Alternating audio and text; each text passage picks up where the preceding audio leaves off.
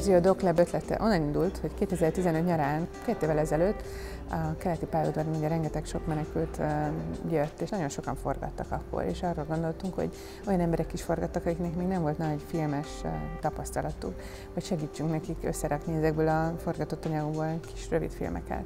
Most ebben az évben kinyitottuk eh, tágabb emberi jogi témákra, mert azt láttuk, hogy igazából szükség van erre, hogy segítsünk embereknek trélert, eh, vagy pedig egy-egy jelenetet összerakni a filmjükből, amivel aztán tovább léphetnek, vagy elmehetnek pitchelni különböző európai eh, szakmai fórumokra, vagy pedig egy rövid filmet, egy kész filmet is összevághatnak itt a workshopon. The most important thing is that you are open to to learn, of course, and to uh, well, to open your mind to maybe other ways of looking at your material because editing is all about working with the stuff that you have and making the best out of that. For me personally as a, film editor, I think it's, let's say, open windows for them to find new ways to, to deal with, uh, with the topic, with the, with the characters and uh, to give ideas how to, in which direction to go.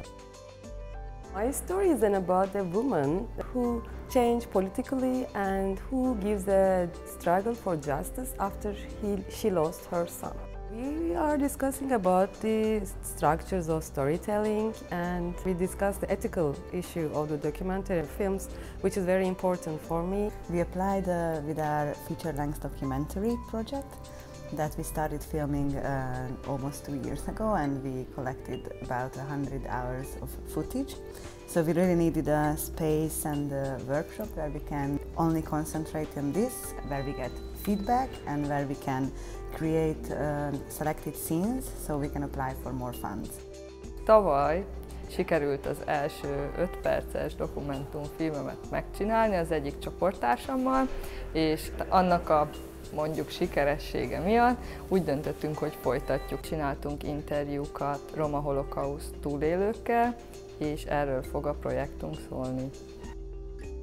One of the biggest advantages of this workshop for us is that there are four uh, tutors for people who never heard about our project, never seen the footages, so we can really have an external opinion about it.